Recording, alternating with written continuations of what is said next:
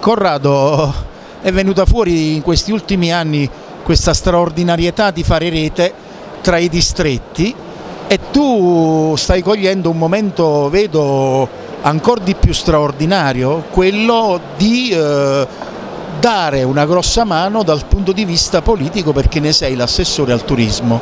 Che ci dici su questa motivazione? Guarda, in questi anni noi abbiamo accompagnato la costituzione di 24 distretti turistici. La Campania oggi è la regione che ha più distretti turistici. Questo è sicuramente un dato importante.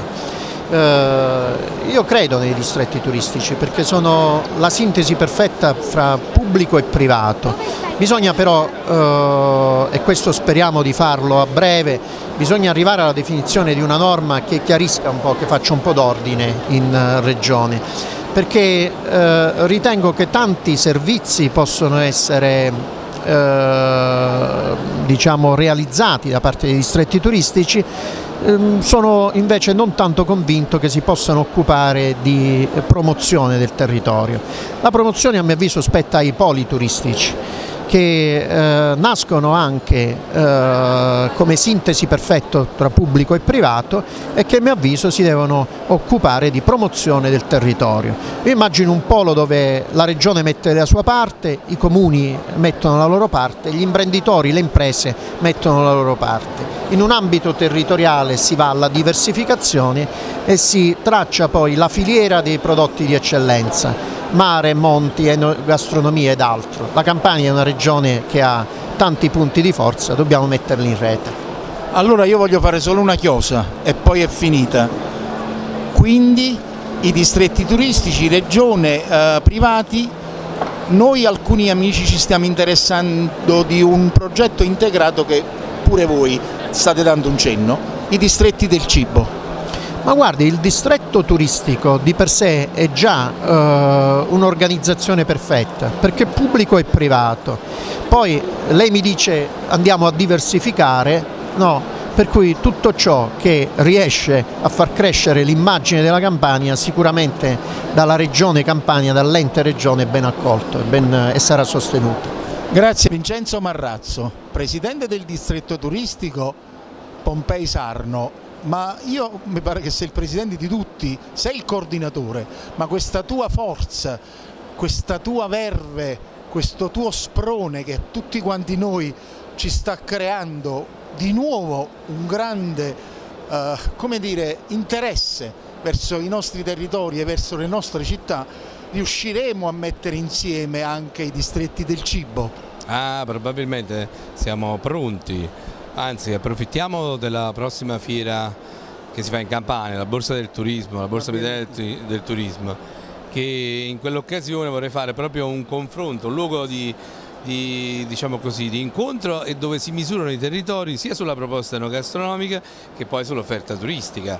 Quindi pensiamo ad un evento organizzato con molta attenzione da parte di tutti dove ci giochiamo la visibilità a carattere internazionale. Quindi eh, un buon successo qui alla BIT di Milano, ma torniamo a casa per lavorare alacremente per rappresentare luoghi, saperi e sapori unici al mondo. Allora io sono contentissimo anche di aver rivisto Nando Farrone che è il eh, vice sindaco di Portici che è il distretto dove io ho vissuto i miei anni della politica e sono felice di averti incontrato per questo pubblico privato.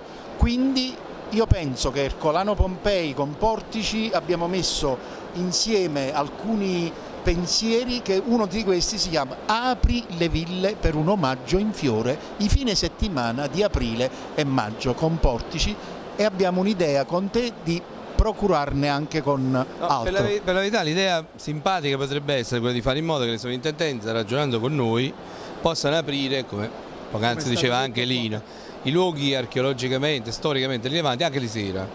Tutti quanti sappiamo eh, il, il grosso risultato ottenuto dalla reggia di Caserta quando si illumina di sera Beh, si possono fare dei percorsi guidati notturni anche tra le tante realtà di grande pregio architettonico e archeologico che abbiamo in tutta la zona che va sia sulla costa del Vesuvio ma anche sull'area di Pompei che arriva fino al nocera superiore dove c'è il parco archeologico.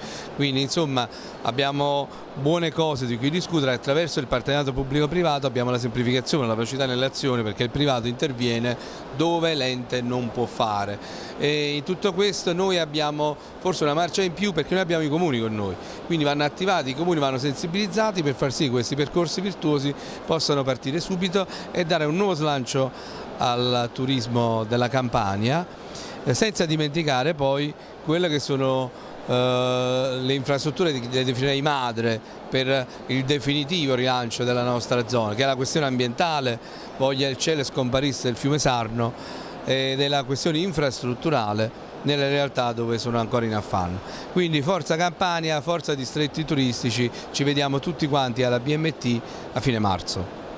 Allora io ti ringrazio, comunque in bocca al lupo per quello che stai facendo perché io ricordo almeno una cosa e questo ci tenevo, tu sei riuscito a fare gli educational con la più grande azienda mondiale di turismo con la Cina, quando incominceranno a venire? Beh, per la verità sono già, per fortuna, hanno già iniziato, stiamo ragionando di altro perché c'è un progetto che è legato alla possibilità di fare una tratta nuova che possa legare direttamente Shanghai a Napoli e, e dopo la, la realizzazione della, della pista anche su Salerno. È un progetto ambizioso, abbiamo chiesto alla Regione di partecipare a questa iniziativa misurandoci con noi stessi perché abbiamo parlato di partenariato pubblico-privato, quindi l'investimento sarà fatto sulla, sulla, promozione per questo nuovo volo sia dai privati e speriamo anche dal pubblico, significativamente dalla Regione Campania. Grazie, a presto alla BMT.